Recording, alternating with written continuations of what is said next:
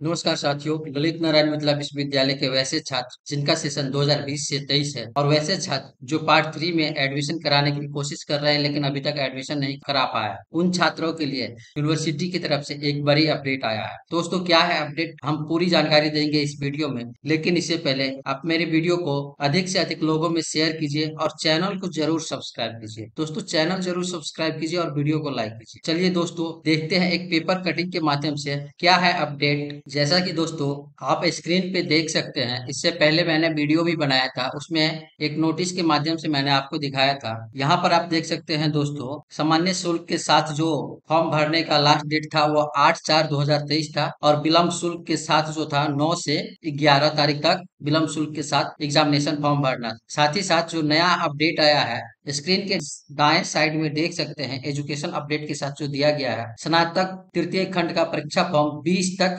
अभ्यर्थी अपने कॉलेज में जमा करेंगे। जो पूरी जानकारी कुछ इस प्रकार से है। एल एन एम यू के स्नातक तृतीय खंड परीक्षा 2023 के ऑफलाइन माध्यम से परीक्षा फॉर्म सामान्य विलम्ब शुल्क के साथ 11 से 20 अप्रैल तक अभ्यर्थी अपने अपने कॉलेज में जमा करेंगे। कहने का मतलब यह है कि ऑनलाइन के माध्यम से आप फॉर्म नहीं भर पा रहे हैं तो दिनांक 11 अप्रैल से 20 अप्रैल के बीच में ऑफलाइन के माध्यम से अपने अपने कॉलेज में एग्जामिनेशन फॉर्म भर के जमा करेंगे। उसी के साथ जो बताया गया है, जानकारी देते हुए परीक्षा नियंत्रक डॉक्टर आनंद मोहन मिश्रा ने बताया कि उक्त परीक्षा के लिए परीक्षा फॉर्म ऑफलाइन माध्यम से भरने का मौका भी इच्छुक छात्र छात्राओं को दिया गया है। ऐसे छात्र छात्राएँ सामान्य विलम्ब शुल्क तीस रुपए के साथ 20 अप्रैल तक अपने अपने कॉलेज में जमा करेंगे। उन्होंने बताया कि इस संबंध में कॉलेज के प्रधानाचार्य को सूचना निर्गत कर सूचित किया गया है। प्रधानाचार्य 25 अप्रैल के अपराह चार बजे तक सभी फॉर्म एवं राशि